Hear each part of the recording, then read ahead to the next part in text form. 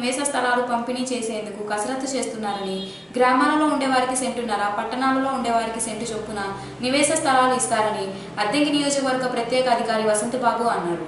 అద్దెకి నియోజకవర్గంలోని అర్హులైన పేదలకు నివేశ స్థలాలు ఇచ్చేందుకు గ్రామాలలో ప్రభుత్వ భూములను ఎంఆర్ఓలు గుర్తించగా అందులో జంగిలి క్లియరెన్స్ చేయించేందుకు గాను బుధవారం అద్దెంకి మండల తహసీల్దార్ కార్యాలయంలో ఐదు మండలాల ఎంఆర్ఓలు ఎన్ఆర్జేసీ ఏపీడీ ఏపీఓలతో నియోజకవర్గ ప్రత్యేక అధికారి సమావేశాన్ని నిర్వహించారు. మండలాల పరిధిలో ఉన్న గ్రామాలలో భూములను గుర్తించారో లేదో పెండింగ్లో ఉన్నాయో ఏమో అని ఎంఆర్ఓలను ప్రత్యేక అధికారి అడిగి తెలుసుకొని గుర్తించిన ప్రభుత్వ స్థలాలలో జంగిల్ క్లియరెన్స్ పనులు ప్రారంభించారో లేదో ఏపీడీ సుబ్బారావును విచారించారు. గుర్తించిన ప్రభుత్వ స్థలాలను బాగు చేయించి ల్యాండ్ లివింగ్ అనంతరం ప్లాట్లు వేసి పంపిణీకి సిద్ధంగా ఉంచాలని ఎంఆర్ఓలకు ఎన్ఆర్జేసీ ఏపీఓలకు వసంతబాబు సూచించారు. మనకి సిస్టమ్ ఐదు కిలోమీటర్ల వరకు మాత్రం లిమిట్ సార్. లోపు ఉన్న వాటిని మనం తీసుకోవాలి ఐదు కిలోమీటర్ల లోపు మాత్రం మనం ఫీజిబిలిటీ ఉంది. దాని ప్రకారమే మన ఏపీ లేదు ఎస్టిమేట్స్ చేశారు. బట్ వన్ టూ కిలోమీటర్స్ మొరాల్ లెస్ చేస్తాం. సో డిమాండ్ పెట్టుకోవాలి. ఎవరెవరు కూలీలు ఉన్నారో వాళ్ళని ట్యాగ్ చేసుకోవాలి. అది మాకు రెండు రకాలు. అంటే సోమవారం బ్యాచ్ ఒకటి గురువారం బ్యాచ్ ఒకటి రెండు బ్యాచ్లు మాకు వర్క్ స్టార్ట్ అవుతుంది సార్. గురువారం రేపు మన సోమవారం వరకు ఎందుకంటే అప్పటి మనకి స్టార్ట్ చేసినా కానీ మనం పేమెంట్స్ కానీ ఏం లేదు బట్ ఫిజికల్గా చేయడానికి చేయించాలి బట్ దానికి పేమెంట్ చేయడం ఇబ్బంది. సో రేపు గురువారం స్టార్ట్ అయ్యే వరకు ఈరోజు మేము లింక్ చేస్తున్నాం. సో ఉన్నప్పుడే లెవలింగ్ ఎట్లా చేయాలనే దాని గురించి ఒక చిన్న సార్. లెవలింగ్ అనేది ఫస్ట్ టైం ఉందంటే మామూలుగా మన ట్రాక్టర్ తోటి మనం పోస్ట్ వెళ్తాం కదా సార్. ఒక ఒక వన్ ఫీట్ కనుక చేశారు. ఫీట్ కనుక మనం చేసి బ్లేడ్ పెట్టి కొంచెం సదును చేసామంటే మళ్ళీ మనము టెన్ టన్ కానీ లేకపోతే టూ టన్ కానీ రోలర్ పెట్టి మనం సదును చేయాలి. సపోజ్ ఒక అడుగు కనుక మనం మట్టేసామంటే దాన్ని కంప్రెస్ చేస్తే నైన్ నైన్ ఇంచెస్కి రావాలి. అంటే త్రీ ఇంచెస్ అని అంటే రోలర్ చేసినప్పుడు గట్టిదనం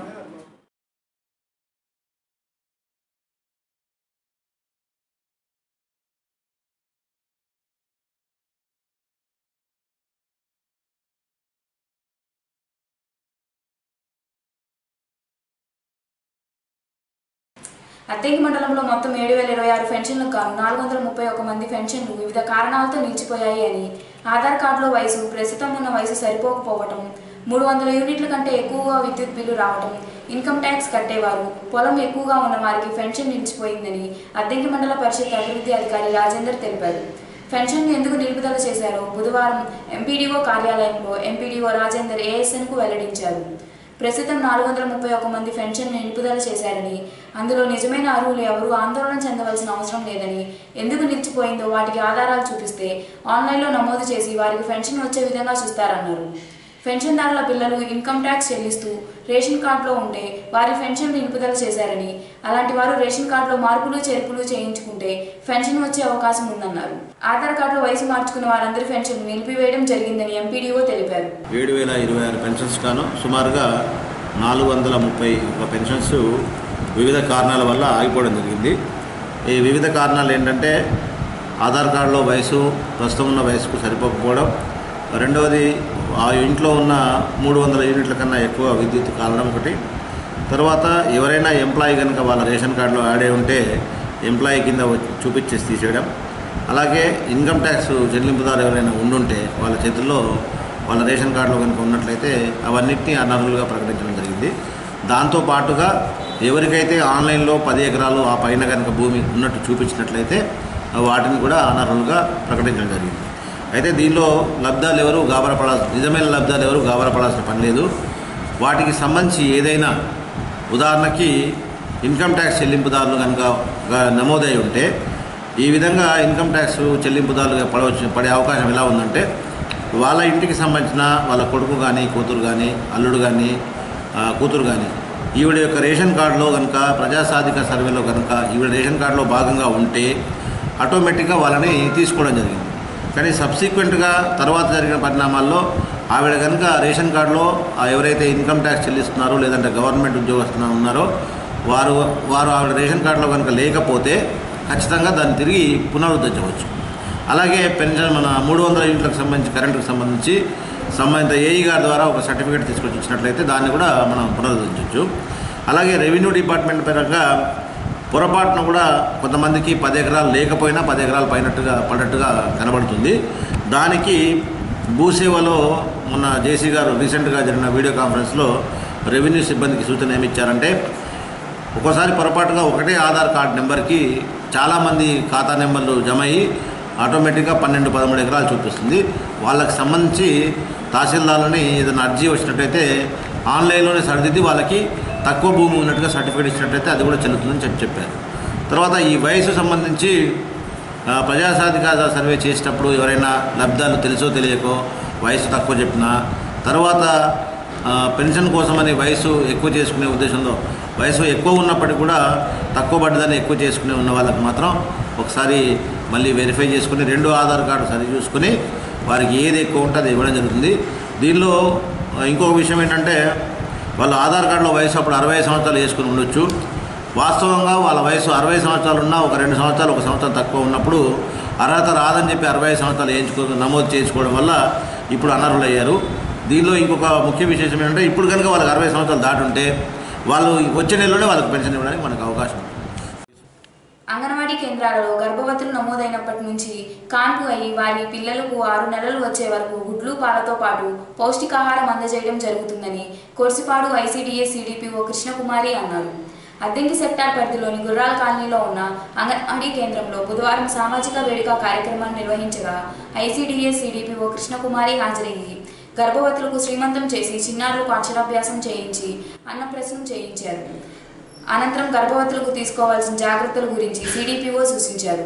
ఈ సందర్భంగా ఆమె మాట్లాడుతూ సామాజిక వేడుక కార్యక్రమంలో భాగంగా గుర్రాల కాలనీలో ఉన్న అంగన్వాడీ కేంద్రాలలో సామూహిక అక్షరాభ్యాసము అన్నప్రాసనం శ్రీమంతాలు ఏర్పాటు చేయడం జరిగిందన్నారు. ప్రతి నెల మొదటి బుధవారం మూడవ బుధవారం నాడు ప్రతి అంగన్వాడీ కేంద్రంలో సామూహిక వేడుక కార్యక్రమం నిర్వహిస్తున్నారని అక్షరాభ్యాసం కాకుండా గర్భవతులు నమోదు చేయడం జరుగుతుందని కృష్ణకుమారి చెప్పారు. ప్రతి చిన్నారికి ఆరు నెలల నుండి ఏడవ నెల వచ్చిన వెంటనే అన్నప్రసనం చేసి ప్రజా ఆరోగ్యం కార్యక్రమం ఏర్పాటు చేసి రెండు చేతులు పరిశుభ్రం చేసే విధానాన్ని చేయించడం జరుగుతుందని ప్రతి గర్భవతిని అంగన్వాడీ కేంద్రంలో నమోదు చేసి ప్రతిరోజు భోజనం గుడ్లు రెండు వందల ఎంఎల్ పాలు ఇస్తారని సిడిపిఓ తెలిపారు. ఈరోజు హై స్టేజ్ ప్రాజెక్ట్ కొరుసుపాడు పరిధిలోని అద్దంకి సెక్టార్లో సామాజిక వేడుక కార్యక్రమం జరిగింది. ఈ కార్యక్రమంలో భాగంగా అక్షరాభ్యాసం నిర్వహించడం జరిగింది. రామ్నగర్ మెర్జర్ సెంటర్లో మూడు ముగ్గురికి ఈరోజు గానుగుపాలెం సెంటర్లలో ముగ్గురికి అక్షరాభ్యాసం నిర్వహించడం జరిగింది. ఈ కార్యక్రమం ప్రతి నెల ఒకటో బుధవారం మూడో బుధవారం నిర్వహించడం జరుగుతుంది. ఈ కార్యక్రమాలు అక్షరాభ్యాసమే కాకుండా సామాజిక వేడుకల్లో భాగంగా early registration of pregnant women అంటే గర్భవతి నమోదు.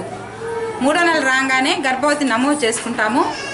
అలాగే ఆరు నెలల నుండి ఏడో నెల వచ్చిన పిల్లలకి అన్నప్రాసన అనే వేడుక కూడా నిర్వహించడం జరుగుతుంది.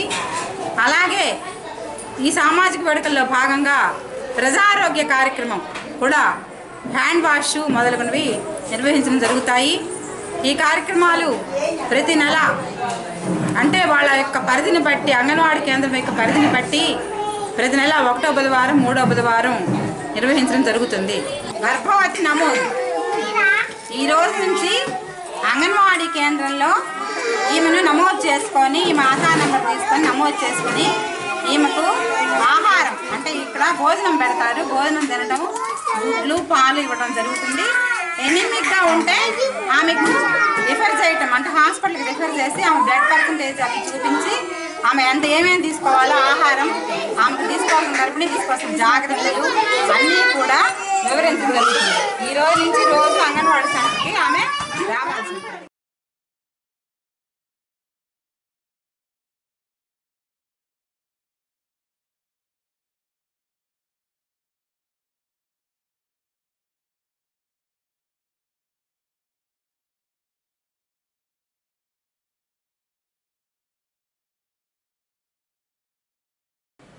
భాషా నైపుణ్యాలకు సంబంధించి గణిత శాస్త్రం పరిజ్ఞాన విజ్ఞానంపై విద్యార్థులకు తర్ఫీదు ఇవ్వడం కోసం ఉపాధ్యాయులు నిరంతరం కృషి చేస్తారని డిస్ట్రిక్ట్ రీసెర్చ్ పర్సన్ శ్రీనివాసరావు అన్నారు. అద్దెంకి పట్టణంలోని గురకాయపాలెంలో ఉన్న మండల విద్యా వనరుల కేంద్రంలో ప్రాథమిక పాఠశాల ఉపాధ్యాయులకు మూడవ రోజు శిక్షణ కార్యక్రమాన్ని ఏర్పాటు చేయగా శిక్షణ పొందుతున్న ఉపాధ్యాయులందరూ హాజరయ్యారు. మూడో రోజు వివిధ సబ్జెక్టుల మీద ఉపాధ్యాయులకు డిఆర్పీలు ప్రొజెక్టర్ ద్వారా శిక్షణ ఇచ్చారు. కోర్స్ డైరెక్టర్ బూదాటి సుధాకర్ శిక్షణ తరగతులను పర్యవేక్షించారు. ఈ సందర్భంగా డిఆర్పి శ్రీనివాసరావు మాట్లాడుతూ సమగ్ర శిక్షణ ఆధ్వర్యంలో ఉపాధ్యాయులకు ఐదు రోజుల పాటు శిక్షణ కార్యక్రమాన్ని నిర్వహిస్తున్నారని ప్రతి ఉపాధ్యాయుడు సంవత్సరంలో ఇరవై రోజులు శిక్షణ పొంది విద్యార్థులకు మంచి విద్యను అందించవలసిన అవసరం ఉందన్నారు.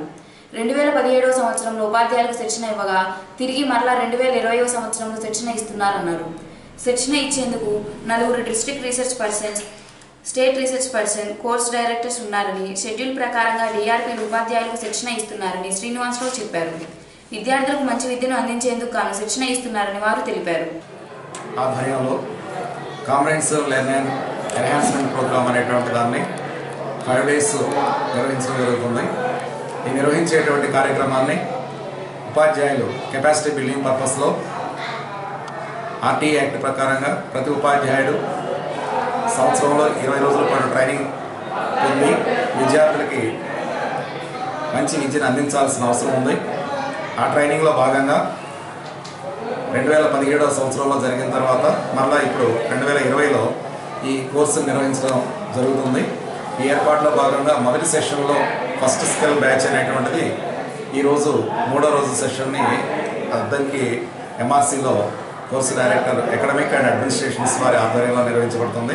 ఇక్కడ నలుగురు డిస్ట్రిక్ట్ రిసోర్స్ పర్సన్స్ అదేవిధంగా ఒక స్టేట్ రిసోర్స్ పర్సన్ అబ్జర్వర్గా వ్యవహరించడం జరుగుతుంది. ప్రతిరోజు ఉపాధ్యాయులు తొమ్మిది గంటల లోపు ఉదయం బయోమెట్రిక్ ద్వారా హాజరు నమోదు చేయడం జరుగుతుంది.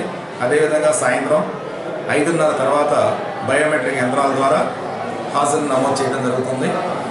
గవర్నమెంట్ ఇచ్చినటువంటి టైం టేబుల్ ఫార్మాట్ ప్రకారంగా టోటల్గా సిక్స్ సెక్షన్స్లో వాళ్ళకి ఇవ్వవలసినటువంటి కంటెంట్ని డిఆర్పీలు అందరూ ఉపాధ్యాయులకు అందిస్తూ ఉన్నారు. భాషా నైపుణ్యాలకు సంబంధించి గణిత శాస్త్రానికి సంబంధించి పరిసరాల విజ్ఞానానికి సంబంధించినటువంటి అంశాల్లో విద్యార్థులను తర్ఫీదు ఇవ్వడం కోసం ఉపాధ్యాయులు నిరంతరం తమ బాధ్యతల్ని గుర్తెరిగి ప్రవర్తిస్తూ ఈ బాధ్యతలు నిర్వర్తిస్తూ తమ విద్యుత్ని నిర్వర్తిస్తున్నారని మేము ఆశిస్తూ ఈ సమావేశాల్లో మా కోర్సు డైరెక్టర్ గారు తర్వాత డిఆర్పిగా ఉన్నటువంటి నేను తర్వాత డిఆర్పి ఇంకొక మాస్టర్ గారు చంద్రశేఖర్ గారు తర్వాత మన స్టేట్ గ్రూప్లో ఉన్నటువంటి ఎస్ఆర్జి శ్రీనివాసరావు గారు ఆయన ఇక్కడ మానిటర్ చేసేటువంటి సిట్టింగ్ అబ్జర్వర్గా ఉంటారు. ఈ విషయాన్ని పరిశీలించడం కోసం రాష్ట్ర స్థాయిలో నియమించబడినటువంటి పర్యవేక్షణ కమిటీ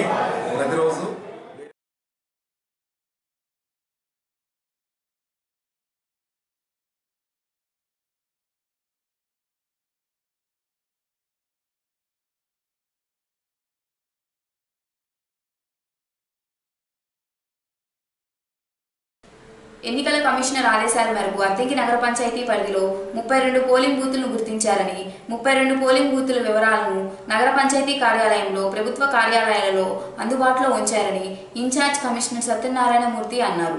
అద్దెంకి నగర పంచాయతీ కార్యాలయంలో బుధవారం పోలింగ్ బూతులకు సంబంధించిన వివరాలను నగర panchayat incharge commissioner Murthy TPS Balaram Reddy Suresh Krishna సచివాలయం సెక్రటరీలు కలిసి విడుదల చేశారు. పోలింగ్ బూతులకు సంబంధించి వివరాలన్నీ డ్రాఫ్ట్ పొందుపరిచి విడుదల చేశారని ప్రజలకు ప్రజాప్రతినిధులకు ఎటువంటి అభ్యంతరాలున్నా గురువారం సాయంత్రంలోపు నగర పంచాయతీ కార్యాలయంలో తెలియజేయాలని సత్యనారాయణమూర్తి తెలిపారు. ఇంటింటికి పెన్షన్ పంపిణీ కార్యక్రమంలో భాగంగా పెన్షన్లు పంపిణీ ప్రారంభం నుంచి నేటి వరకు రాష్ట్రంలో అద్దెకి మొదటి స్థానంలో ఉందని అద్దెకి మండల పరిషత్ అభివృద్ధి అధికారి రాజేందర్ తెలిపారు. ఫిబ్రవరి ఒకటో తేదీన పెన్షన్ల పంపిణీ కార్యక్రమాన్ని ప్రారంభించగా మధ్యాహ్నం ఒంటి గంటలోపే తొంభై ఐదు శాతం పూర్తి చేసుకొని రాష్ట్రంలో ప్రథమ స్థానంలో ఉన్నారని. ఫిబ్రవరి రెండో తేదీ నుంచి నేటి వరకు అద్దెకి మండలంలో తొంభై ఎనిమిది పాయింట్ ఐదు ఆరు శాతం పెన్షన్లు పంపిణీ చేసి అగ్రస్థానంలో ఉన్నారని పంపిణీ కార్యక్రమంలో బాగా కృషి చేసిన మండల పరిషత్ సిబ్బంది గ్రామ సచివాలయం ఉద్యోగులు మరియు వాలంటీర్లు పంచాయతీ కార్యదర్శులకు ఎంపీడీఓ రాజేందర్ అభినందనలు తెలియజేశారు.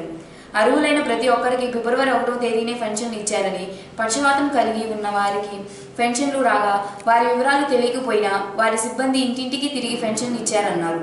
మార్చి నెలలో కూడా ఇదే విధంగా పెన్షన్లు పంపిణీ చేయడం జరుగుతుందన్నారు.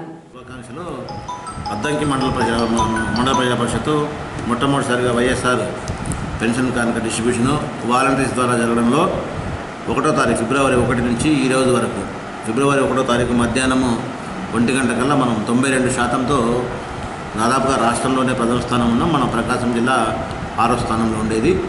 ఆ రోజు నుంచి రెండో తారీఖు మూడో తారీఖు నాలుగో తారీఖు ఈ రోజు వరకు కూడా అద్దంకి మండలము మొత్తం పెన్షన్స్లో తొంభై ఎనిమిది పాయింట్ ఐదు ఆరు శాతంతో అగ్రస్థానంలో ఉంది. దీని అందరికీ బాగా పంపిణీలో బాగా కృషి చేసిన మండల పరిషత్ సిబ్బంది తర్వాత గ్రామ సచివాలయ ఉద్యోగులు మరీ ముఖ్యంగా మా వాలంటీర్సు పంచాయతీ కార్యదర్శి కృషి చాలా ఉంది. ఒకటో తారీఖు అయితే ఉదయం చాలా తెల్లవారుజామున ఆరు గంటలకల్లా క్షేత్రస్థాయిలో ఉండి అర్హులైన వాళ్ళందరినీ మరీ తట్టి లేపి మరీ పెన్షన్లు ఇవ్వడం జరిగింది. అలాగే పక్షవాతానికి సంబంధించిన పేషెంట్లకు సంబంధించి మా దగ్గర వివరాలు లేకున్నా కానీ మా ఆఫీస్ సిబ్బంది కానీ తర్వాత సచివాలయ సిబ్బంది చాలా అంకిత భావంతో పనిచేశారు. వాళ్ళందరికీ ధన్యవాదాలు తెలుపుకుంటున్నాం. అదేవిధంగా వచ్చేసారి వచ్చే రెండో ఫిబ్రవరి నెలలో ఇచ్చే పెన్షన్ కూడా ఇదే ఇదే అగ్రస్థానం మేము మెయింటైన్ చేస్తామని. మెయింటైన్ చేయడం అంటే లబ్ధారులకి కరెక్ట్ టైంలో వాళ్ళకి మేము సేవలు అందిస్తామని మీ మూలంగా మేము తెలియజేసుకుంటాం.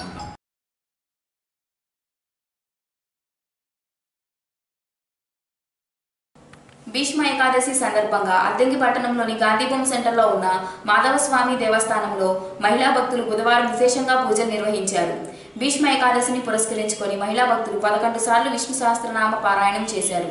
పారాయణం అనంతరం భక్తులకు తీర్థ ప్రసాదములు అందజేశారు